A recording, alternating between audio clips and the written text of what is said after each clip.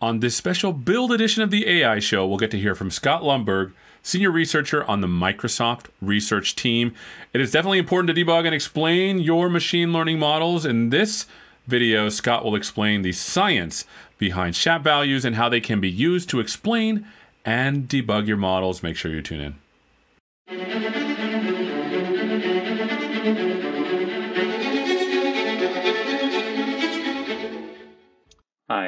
My name is Scott Lundberg. I'm a senior researcher here at Microsoft Research AI, and I look forward today to uh, diving into the background behind SHAP, which is a, a, tool and research designed to use Shapley values from game theory to explain machine learning models.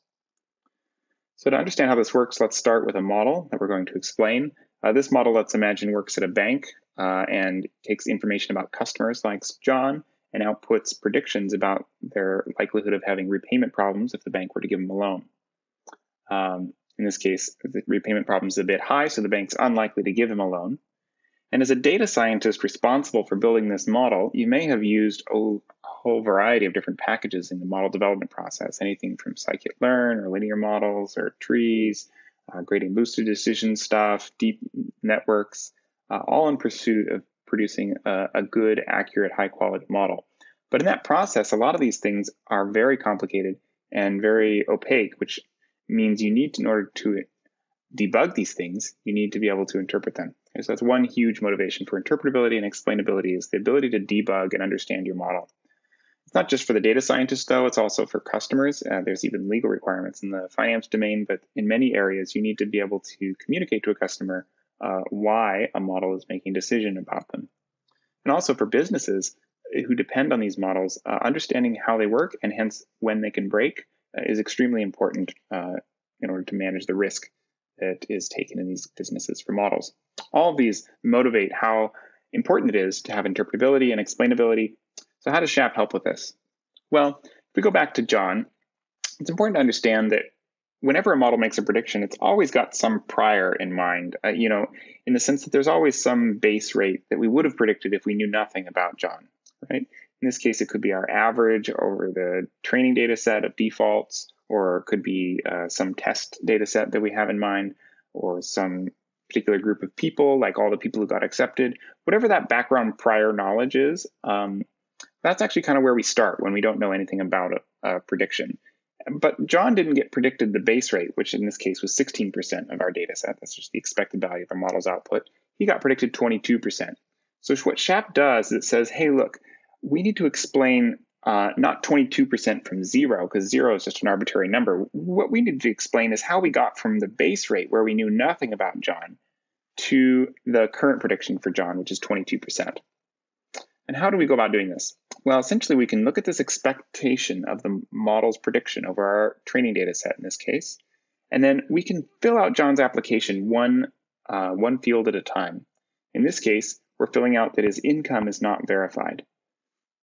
Now, what that does is it bumps up the expected value of the model by 2.2%. So we could say, ah, that 2.2% must uh, be attributable to the fact that John didn't have his income verified. So relative to people in the training data set, this increases his risk. If we do the same thing for his debt to income ratio, we see that that is at 30, which bumps him up to 21%. And then we see that he had a delinquent payment 10 months ago, which further increases his risk up to 22.5%. Again, we're filling out his application one entry at a time. And then we fill out the fact that he had no recent account openings. And this drops his risk significantly because uh, not applying for credit is a good sign. But then uh, the, finally, we fill in the fact that he has 46 years of credit history, which you would think would be a really good thing. But ironically, in this case, it turns out that that hurts him significantly and bumps his risk up to 22%. So now what we've done is we've filled out his entire application and we've arrived at the prediction of the model, but we've done it piece by piece so that we can attribute each piece to each feature and hence explain how we got from when we knew nothing about John uh, to the model's final prediction. Now, let's back up and see how this works for a simple model, a simple linear regression model from scikit-learn, for example.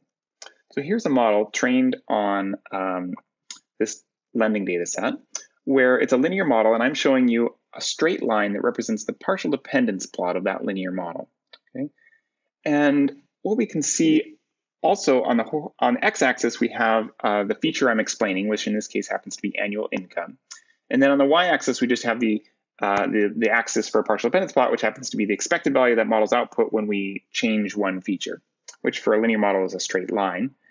And what I want to highlight here is how easy it is for a linear model to read off the SHAP value right from a partial dependence plot. So the gray line here is just the average output of the model. That's the prior base rate we were talking about. And then what we can see is that the SHAP value is just the difference between that average and the partial dependence plot for the value of the feature we're interested in. Okay, for a linear model, we can simply look and say, ah, John has made $140,000. That puts his partial dependence plot at a certain point, and then we can just measure that height from the mean value, which if it's higher than the average, is going to be positive. If it's lower than the average, it's going to be negative. We can do the exact same thing for more complicated models like generalized additive models, such as what are uh, in EEBM package. Uh, what happens there is now you don't have a straight line anymore. You can have a much more flexible uh, partial dependence plot. But again, the SHAP values, because there's no interaction effects going on, we still have an additive model. The SHAP values are again just exactly the difference between the height of the partial dependence plot and the expected value of the model. Okay, so if you were to plot the SHAP values for many, many, many different uh, individuals, you would get a, uh, essentially a line, and that line would be exactly the, the mean centered partial dependence plot. So more complicated models, though, are of course where people are most interested in this kind of stuff. And in that case, you can't just use a single order. You can't just introduce features one at a time because it turns out that the orders you introduce features matters. Uh, if there's an AND function or an OR function, the first or second one you introduce will get all the credit. So here's an example on a real data set where we say no recent account openings in 46 years of credit history we filled out account openings first and then credit history. What if in filling out his application, we first filled out credit history and then account openings?